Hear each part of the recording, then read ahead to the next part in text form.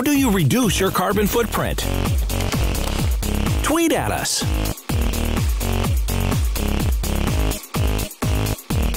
Solar Tech